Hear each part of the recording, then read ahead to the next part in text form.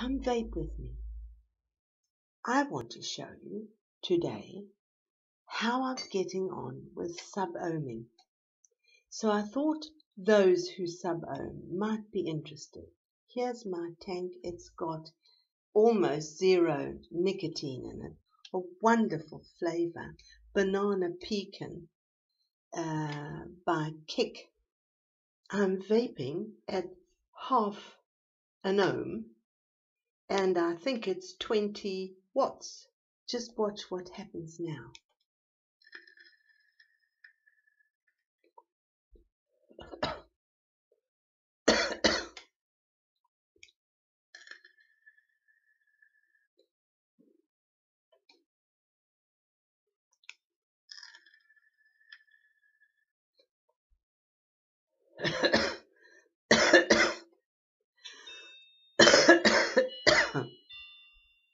There's my little clock. Oh, wait. Oh.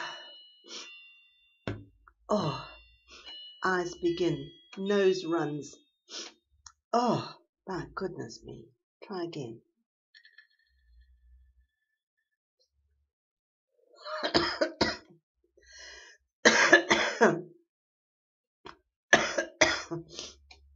Sneeze coming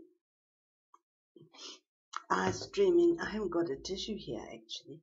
Oh dear, I didn't think of that. Anyway, use the finger. Do you see that man over there? so, I have a problem with this because I can't do it without ending up with my nose running, my eyes streaming, and coughing.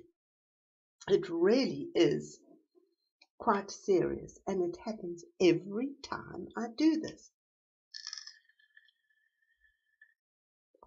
I haven't I haven't even inhaled it. so I don't think sub-ohming is for me. It's torture, actually.